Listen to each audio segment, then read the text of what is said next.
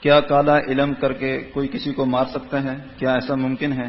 آیا کالے علم سے بچنے کے لیے کیا کرنا چاہیے؟ کہ اس پر اثر نہ ہو، اثر ظاہر ہو جائے۔ اور یہ بھی پتا ہو کہ کالا علم کرنے والا اس کا رشتہ دار ہو۔ نوٹ، اگر آپ سے اس کا حل پوچھنا ہو اور اس کا توڑ کرنا ہو، تو کب اور کیسے آپ سے ملا جائے؟ گزارش یہ ہے جی کہ جادو جادو کو کالا علم کہتے ہیں نا۔ کہ ایک علم کا معنی تو روشنی ہے۔ جادو اور روشنی یہ کبھی ہو نہیں سکتا۔ جادو کو یہ بولا کریں کالا جادو۔ کالا جادو۔ جادو سے قتل ہو جاتے ہیں۔ جادو سے بہت کچھ ہوتا ہے۔ جادو جن بھی کرتے ہیں، جادو انسان بھی کرتے ہیں۔ نبی علیہ السلام صلی اللہ علیہ وسلم جب بھی نماز کے لیے کھڑے ہوتے ہیں، تو آپ جو تعاوض پڑھتے ہیں پتا وہ کون سا تھا؟ آپ پڑھتے ہیں آؤز باللہ سمیل علیم من الشیطان رجیم من حمزہی و نفقہی اے اللہ تو سمیع و علیم ہے، میں تیری پناہ میں آیا اس رجیم سے، اس کے جادو سے، اس کی پھونکوں سے اور اس کے وسوسوں سے۔ اس کا مطلب یہ جادو کرتا ہے، اب اس سے بچا کیسے جائے؟ بڑا آسان طریقہ۔ ہر خاص و عام کے لیے جادو سے بچنے کا طریقہ اب جادو مختلف طریقے سے ہوتے ہیں۔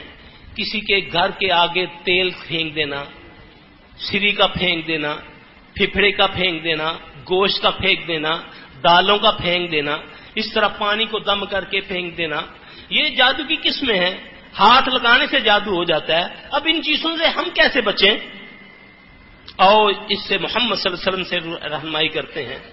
اب جو صبح فجر کے وقت اٹھتا ہے، فجر کی نماز پڑھتا ہے، پھر دعائیں پڑھتا ہے۔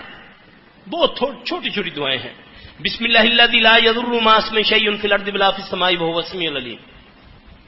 گرنٹی ہے پیارے نبی صلی اللہ علیہ وسلم کی، جس نے صبح اس کو تین بار پڑھا، شام تک کوئی چیز اس کو ایزا نہیں پہنچا سکتی۔ ایک صحابی واقعہ لکھتے ہیں، نام مجھے یاد نہیں، کہ ایک دن میرا شیطان مجھ سے مخاطب ہو کر کہتا ہے کہ تو بڑا ظالم آدمی ہے۔ جب میں تجھ پر آیا تو اونٹ کی طرح تھا۔ آج تم نے اتنا پڑھ پڑھ کے مجھے کمزور کر دیا کہ ایک چڑیا سے بھی کم مجھ میں جان آ گئی ہے۔ یاد رکھو ہر انسان کے ساتھ اللہ نے ایک جن کو پیدا کیا۔ جو اس کا کرین ہے، جو اس کے ساتھ رہتا ہے۔ جب وہ مر جاتا تو اس کی قبر پہ رہتا ہے، جس کو حمزاد بولتے ہیں۔ ایک دعا ایسی بتاؤں جس سے وہ بھی علیحدہ ہو جاتا ہے۔ نبی صلی اللہ علیہ وسلم فرمایا، جب آدمی گھر سے نکلنے کی دعا پڑھتا ہے، بسم اللہ توکل تو اللہ حول ولا قوت الا باللہ۔ میں نے بہت سارے بھائیوں کو دیکھا کہ گاڑی کی دعا، سواری کی، گاڑی کو سٹارٹ کرنے سے پہلے یہ دعا پڑھتے ہیں۔ یاد رکھنا جہاں نبی صلی اللہ علیہ وسلم نے بتایا یہ وہاں پڑھنی ہے۔ اور کچھ لوگ اپنے گھر کے لیے پڑھتے ہیں، داخل ہونے کی دعا اور نکلنے کی دعا۔ کسی گھر میں، کسی مقام میں داخل ہونے کی دعا بھی ہے، یہی دعا ہے۔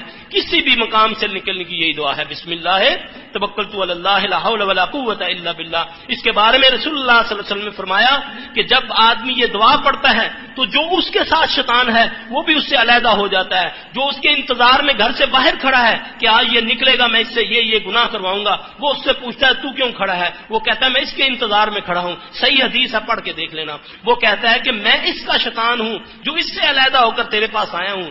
کچھ کل میں اس نے ایسے کہے ہیں کہ میں نے آسمان سے آواز کو سنا ہے کہ آسمان سے آواز آئی ہے کہ اے بندے، تو میری ایمان میں آ گیا۔ ہم کہتے ہیں، نانی جی کا تویز ہے یہ ہمیں کچھ نہیں ہونے دیتا۔ یہ صدیوں سے ہمارے پاس ہے یہ دعا ہے، جاؤ، یاد کرو، اپنی اولادوں کو کھواؤ۔ پڑھ کے نکلو، انشاءاللہ، کبھی جادو، ایکسیڈنٹ، کبھی ناگہانی، آفات سے انشاءاللہ بچو گے۔ یہ دعا یاد کرو، اپنے بچوں کو یاد کراؤ۔ کون سی چیز ہے جو میرے پیارے نبی چھوڑ کر نہیں گئے؟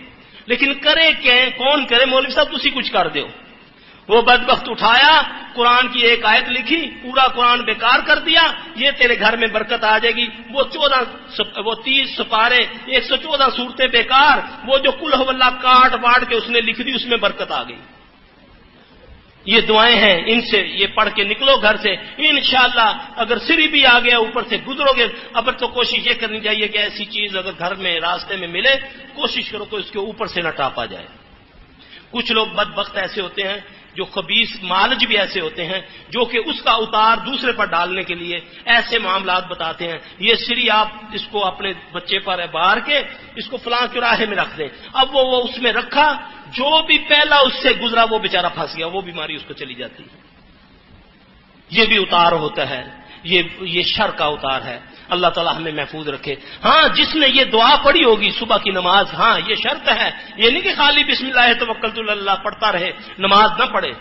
صبح فجر کی نماز پڑھے، اس کے بعد یہ دعائیں پڑھے تو انشاءاللہ وہ جادو سے ہر چیز سے محفوظ رہے گا، انشاءاللہ تعالی۔